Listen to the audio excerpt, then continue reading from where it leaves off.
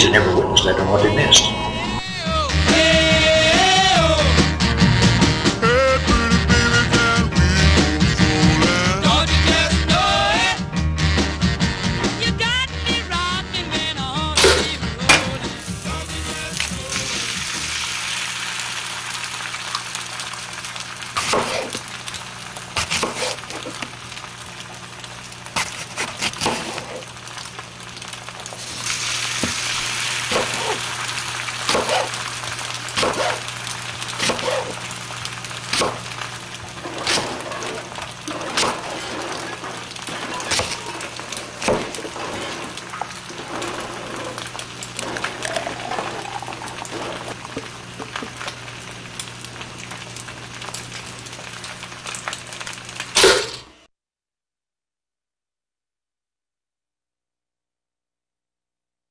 was the Kroger grocery chain, actually.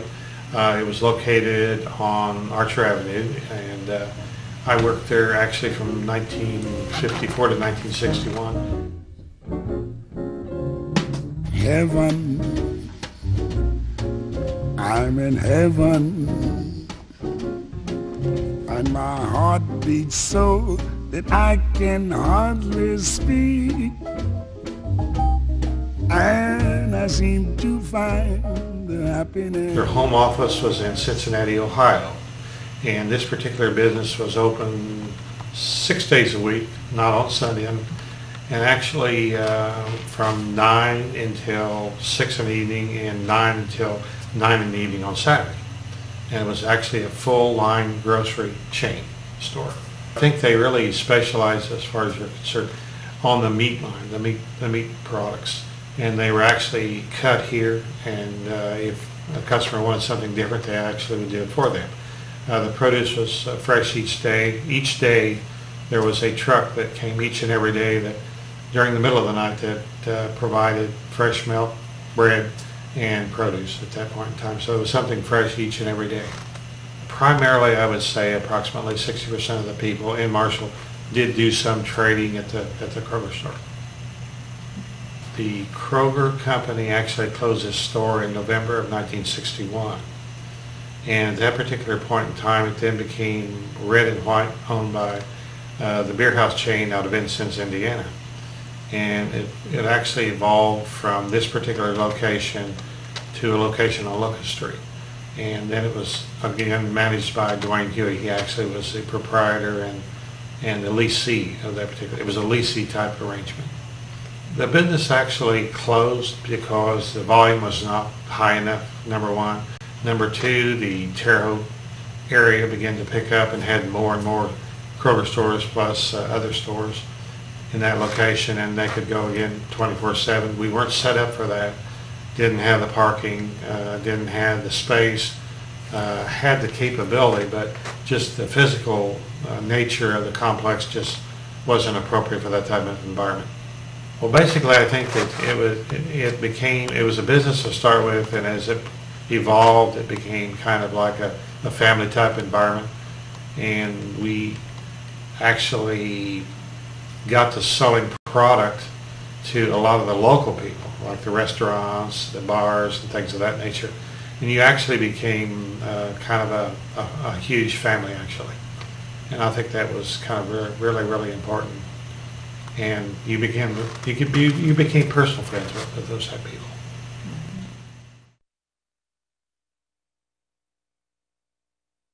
Well, my name is Emer Haw, and the business was the Marshall Candy Kitchen.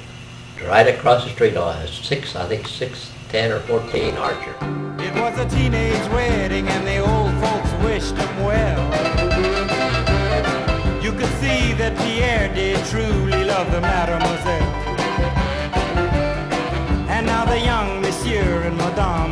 The chapel bell. And I bought it from Ratty. Uh, I went in business October the 4th, 1944. I went in there in 49. I bought the building in, I think, 50. The building was kind of falling apart because of a blocked drain pipe. So I had to tear it clear down and build it back up. That was 1951. Then I put the bar along there with the stools, you know.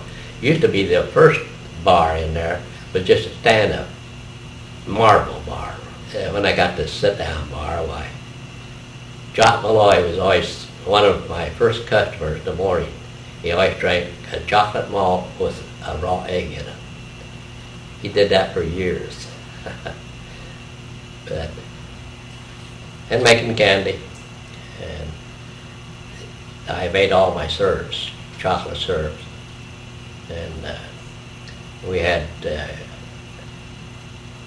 sandwiches, uh, toasted ham, toasted cheese, combination of ham and cheese, toasted peanut butter, and then we had individual servings of Campbell soup. We put them in a hot cup and heat the soup up. Then we had a rotisserie uh, hot dog machine. I made peanut brittle and then coconut brittle, and I made uh, chocolate peanut clusters and heavenly hash. That's a mixture of coconut and chocolate and uh, marshmallow. And you make it in a roll and then slice it off like a pinwheel, you know. And peanut brittle was a biggie.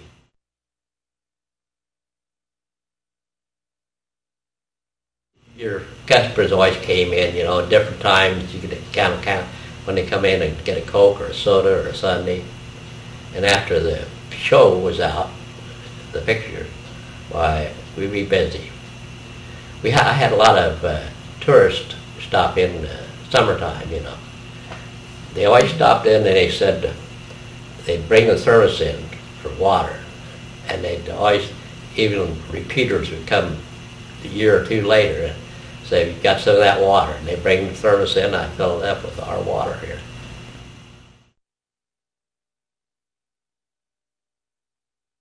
The dance and listen to the jukebox and play the pinball and, and sit around and drink Coke and talk, you know, visit. And uh, always seem to enjoy themselves.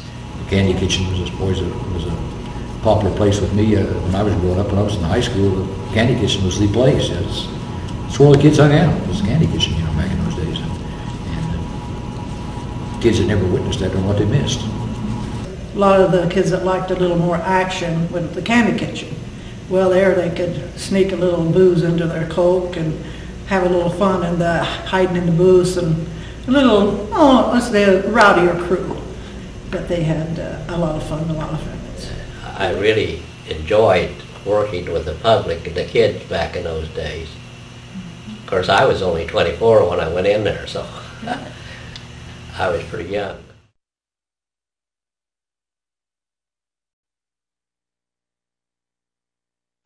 remember back, particularly back in the 1920s, different uh, food establishments, uh, groceries, grocery stores, uh, meat markets, restaurants uh, that were located here in Marshall during that period of time.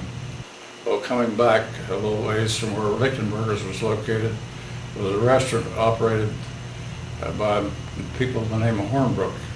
It was a Busy Bee Cafe. That's where Nancy's Gallery is at the present time.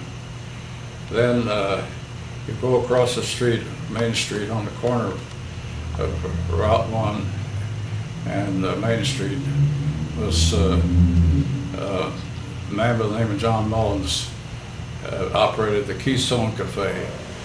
Another interesting thing about the Keystone, when Jack Reagan had it, his mother-in-law died, and he wanted to close the restaurant for uh, the funeral, but he couldn't lock it up. There was no way to lock it up. See, it was open 24 hours, 24/7, and uh, he could lock the front door, keep people coming in, but he couldn't lock the back end of it. And uh, he had to hire a woman to stay there at the restaurant while they went to film. Coming back to the west uh, was the Al Cafe, operated by uh, uh, Tom Crump. And Tom was quite a quite a, a jokester, and he had a, a whole showcase full of, of uh, jokes that you could play on people like uh, exploding cigars and cigarettes. And uh, then it, uh, he was always playing, playing jokes on people. When I first started coming to Marshall was when I was going to high school, and occasionally I would come downtown and eat dinner. Uh, Money was pretty scarce then, but you could get at the Little Owl Cafe, which is where is at now, you could get a plate lunch for a quarter, and a dinner was thirty-five, and the difference was you got a, a piece of pie with the dinner. uh, across Sixth Street, and on the north side was Dahl's Grocery. And it was operated by Louis Dahl. His father started the store. His name was D.D. Dahl. And that store was in business for almost 100 years. And uh, Mr. Dahl, Louis Dahl, finally closed the store when the World War II came along because they had to deal with food stamps that, um, uh, and he didn't want to do all the paperwork, so he had made enough money he could retire. Then, uh, also on the west, or the east side of the square was uh, Rademacher's uh, bottling plant where they manufactured soft drinks. Uh, Ratty made his own ice cream, and that's where I got my ice cream candy kitchen. And he bottled double cola and different flavored pops. See, the candy kitchen was run by Rademacher's. They also had another place just across the alley there, what they call Little Rademacher's. And on band concert night, it's there where Bill Mealing's is now. On band concert night, you'd go over there and get your ice cream. Get a double dip cone for a nickel. Around to the north was uh, Spots Meat Market, and they done their own butchering. They had a place in the southeast part of town, down to where the disposal plant is now, and they done their own butchering down there. They bought the animals and butchered them and brought them up here, and they even delivered meat around town. They had a uh, man that drove a no-top buggy, and he'd deliver meat around town. You'd call in and tell him what you wanted, and he'd deliver it to them. in the north edge of Marshall, up uh, at the, where they cross the railroad tracks at the, uh, on the Clarksville Road, was a cheese factory, Kraft cheese factory, and uh, the farmers brought their milk in there, and then they processed it into cheese. And I was working on the farm then, and I used to have to bring a, a, all the milk in the, early in the morning, and uh, then I'd get the cans of whey to take back to feed to the hogs. Uh, but that's a little bit about the, the food industry in Marshall, as I remember. The E and L Confectionery. It was owned by Ed uh, Toomey and his sister Lorraine. They had bought the restaurant, I believe, in uh, 46, it's either 45 or 46. It was on 6th and uh, Locust, across the corner from the courthouse, be the, the southeast corner of the courthouse across the street. It, being that it was a sandwich and ice cream store, we had 10 cent fish sandwiches, specialty, and, uh, and ice cream cones, homemade ice cream, and sometimes he'd make specially homemade candy. And then he would do, at times, what the family ate there, he'd have special breakfast for special people that come in early, then they would share that with them as an extra on. On the same time, in evening time, if they happened to have uh, pot roast or ham and beans or something different that was on our menu, some of the regulars would come in and see what they had and see if they couldn't uh, share with that. Ed's wife, Catherine, worked there, and of course Lorraine worked there. Prior to that, Lorraine had worked at the uh, candy kitchen, and Ed had worked at Rademacher's. He lost his job at Rademacher's when Rademacher downsizes or retired out and let his, I believe it was his son take over, and his son didn't want Ed anymore, because I think he was going to do that job himself, or whatever. Ed lost his job and didn't know what he was going to do, although he was also a farmer. This was a part-time job. So they purchased D and. And we girls who worked there just did the waitressing work. dipped the ice cream and made the cones and the sodas and that, did the waitressing. I wasn't old enough to be working, but Ed said, you're tall enough, you'll fit the bill. And at that time, you didn't have social security numbers, so he sent in a social security number. And uh, I started working.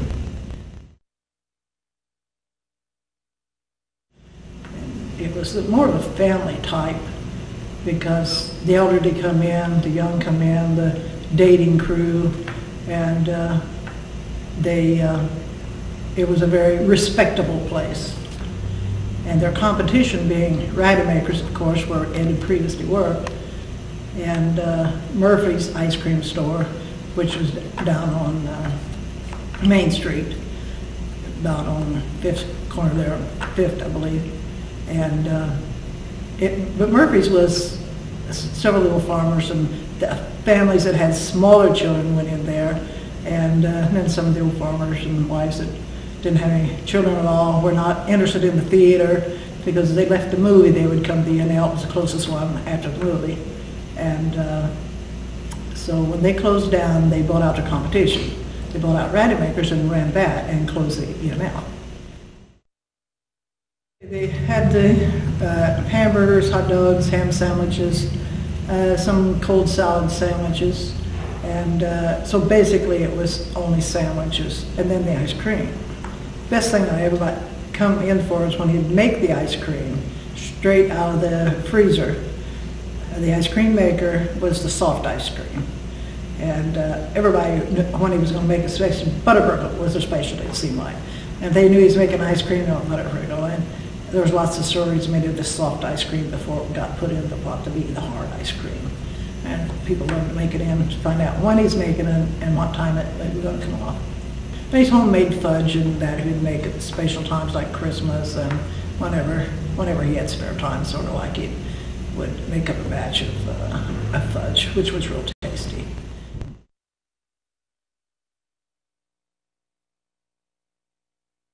My mother and father business, Henry and Reba Porman.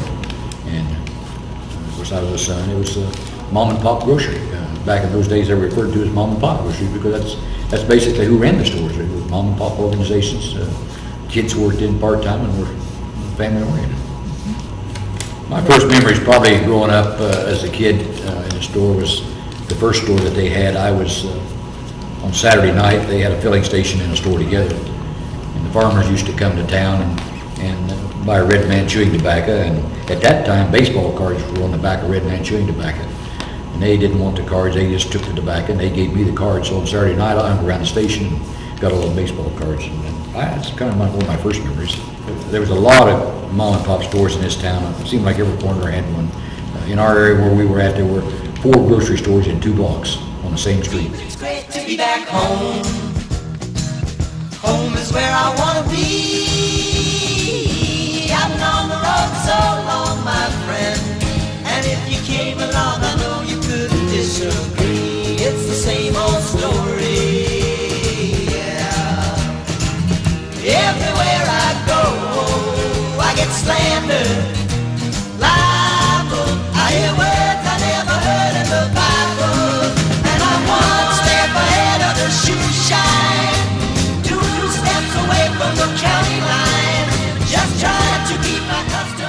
But the main competition came later on uh, with the Krogers and the big supermarkets, and that's, that's where the competition came from.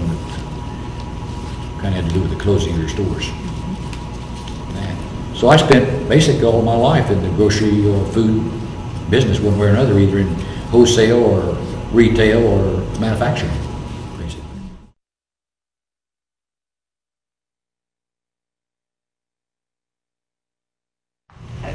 Cafe, and it was, um, what is still there, it's the family restaurant now.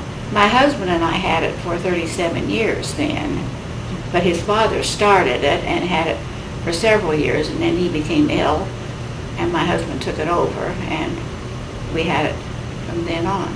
So my dad talked to Tom, who was a good friend, and told him, he said, I want you to buy that restaurant. And Tom says, well, he says, I couldn't. He says, I don't have the money. Well, he had a big family and he's working a night shift down there at the restaurant all by himself.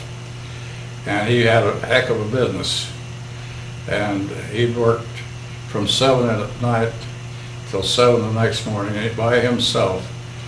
And he did all the cooking, waited the tables, washed the dishes, and uh, I don't think he was making very much. So my dad convinced him that he, he uh, could operate this restaurant.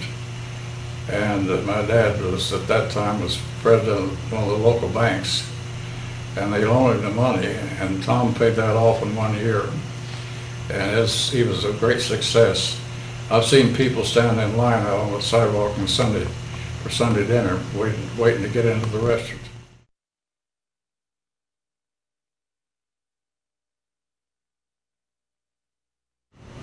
Then we, we bought two more buildings and tore them down and made, added a dining room and a lounge. It was just one, the one building, the restaurant part. And we added two more rooms then later.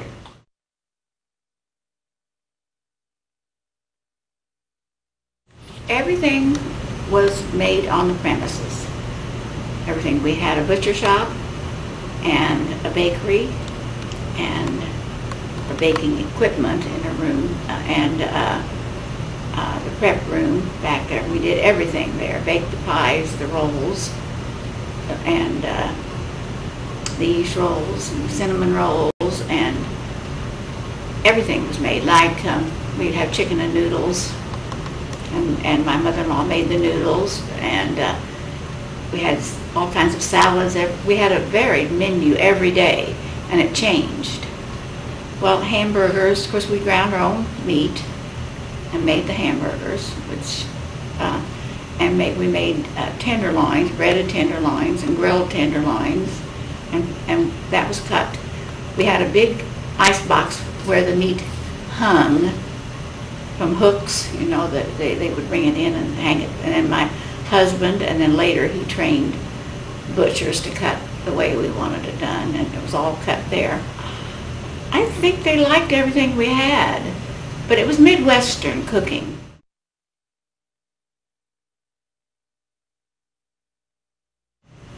I, I suppose in later years, uh, the Colonial Kitchen came, was in Marshall, and I suppose that was a, but in early years, I don't remember any competition.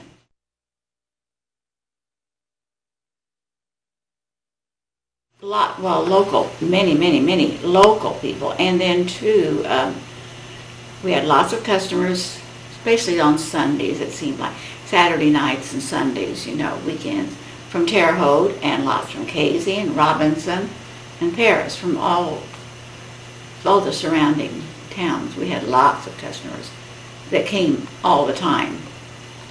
Of course, ours was a family business. The whole family worked in it.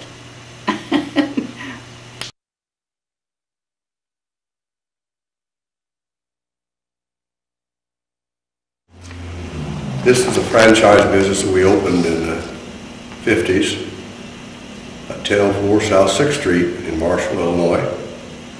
And I, I saw one in Robinson under construction and it caught my eye, so I immediately went to Champaign and investigated and we bought a franchise.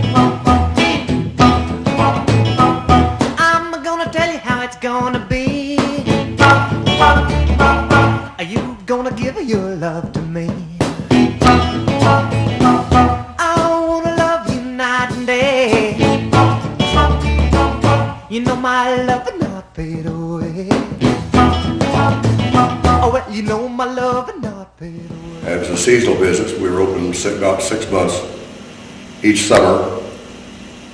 And of course, we had uh, new employees each year, which was no problem at all because we had a wonderful group of people. Some families had uh, as many as three or four children or families that worked for us during a span of years. And, uh, and we still have people living in Marshall that were car hops for us.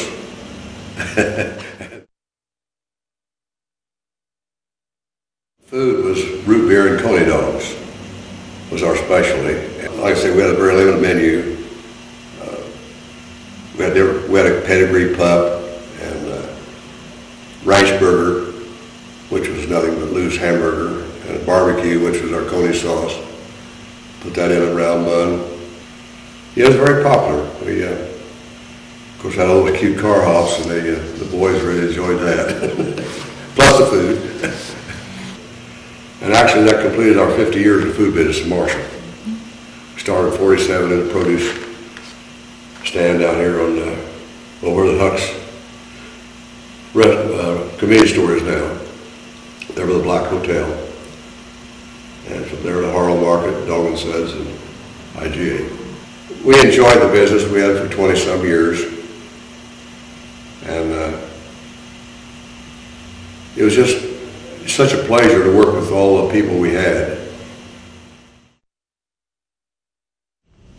Um, Grocery was owned by my, my father, Frank N. Mealing, and uh, it was located on, uh, initially on the site uh, of the current uh, Delaney branch of Old National Bank, uh, and then in later years was located uh, directly across uh, the street from the north side of the courthouse.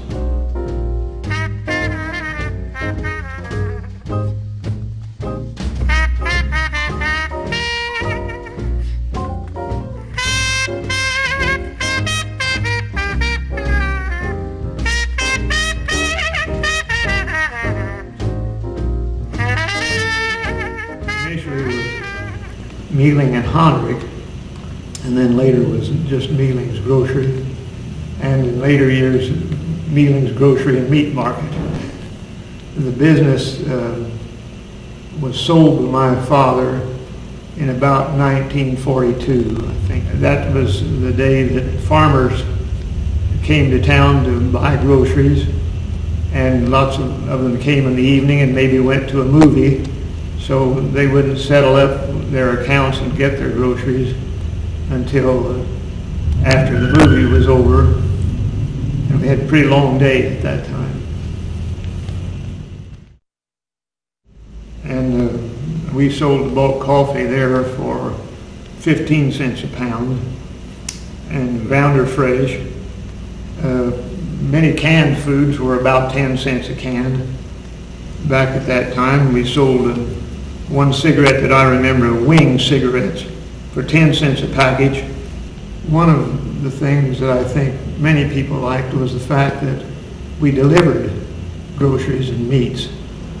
But since people didn't have refrigeration, they'd often call not long before uh, a meal time and ask us to deliver products to them. So sometimes a small order I'd take on a bicycle, and I still ride a bicycle some. In our grocery store too, we sold kerosene because most of the people cooked with uh, um, either coal stove or wood stove or uh, a little what we call coal oil uh, stove. And so when people ordered groceries, or if they wanted a gallon of coal oil or kerosene, we delivered that too. Those are some of the earliest memories I have.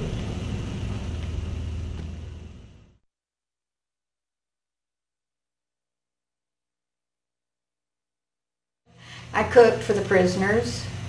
For breakfast, they had cereal, sometimes oatmeal, sometimes other cereal, and usually an egg and toast, or else bacon and toast, or, and they always had coffee. That's the only meal I had coffee for was mm. breakfast. I reckon they usually set them more on Christmas, you know, you you cook more up home too, so.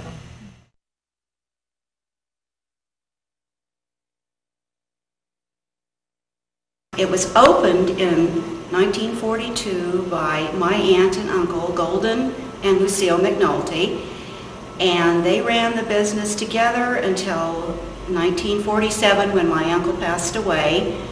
And at that time, then my grandma stepped in and helped my aunt with the store. It was solely run by, by the family, by her family. So uh, my mother helped in the grocery store from time to time, and my sister and brother When they were old enough, they were attending North Elementary School, and after school, they would go into the grocery store and help stock the shelves, the canned goods, that whatever was easy for them to get on the shelves.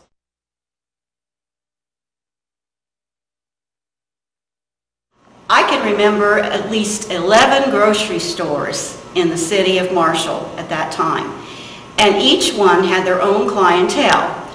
Uh, competition, I, I don't even remember that being a factor.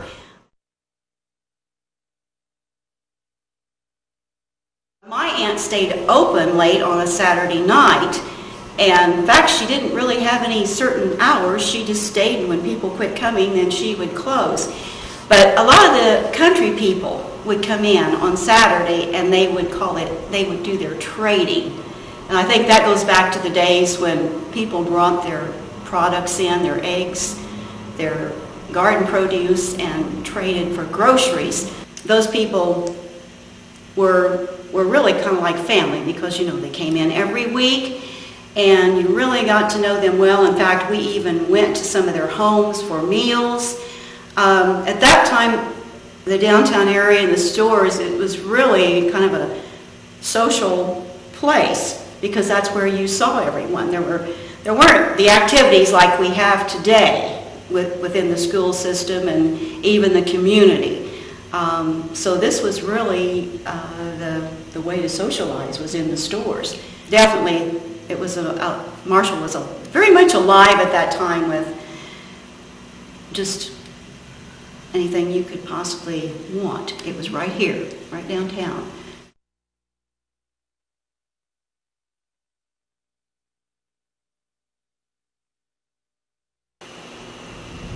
When I, when I was a, uh, just out of high school, I worked for Kroger's. And you didn't work for much money. I'd work uh, uh, probably 60 to 80 hours a week for seven bucks. Less than 10 cents an hour. Some of the other clerks made about twenty dollars a week, and I got about seven dollars when I was working full-time in the summer and got older.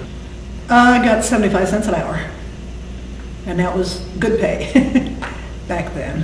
I think it's 25 cents an hour and give a discount on their food.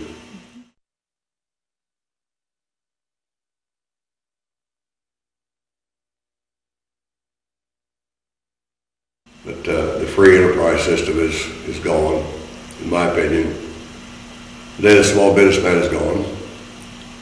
Uh, the big supers have just taken over and nobody's gonna stop them now. Fast food. That's the, that's the, you, you just don't find restaurants anymore. You just don't find the homemade anymore. There wasn't much thought given to what was healthy and what wasn't healthy. Everybody ate pretty hearty meals. But today you have a lot of health concerns and a lot of health foods, salads and such that we didn't used to have back then. Back in those days, it was just uh, pretty simple. We had some bakeries on Main Street, and just little things that you remember that, uh, those days are gone and you don't see them anymore. I think basically the food industry now, the grocery chain is primarily uh, 24 hours, seven days a week. What changed Marshall a lot was when the theater burned down, that people went out and immersed through that, you know. And then they started going out and eating different places. And then your fast foods came in. It was very vital at that time. There was so much activity. Of course, we had so many different kinds of stores. Um, well, of course, with Walmart that we have now, they sell a lot of the products that, that were the specialized stores that we had downtown. a very drastic change. Back in the early days, there was probably 20, 20 or better little grocery stores, some of them in one room of the, the owner's house. And uh, it's, there's such a drastic change that uh, I'm saying some good, some bad. it's a change that uh, I still not happy with our little town of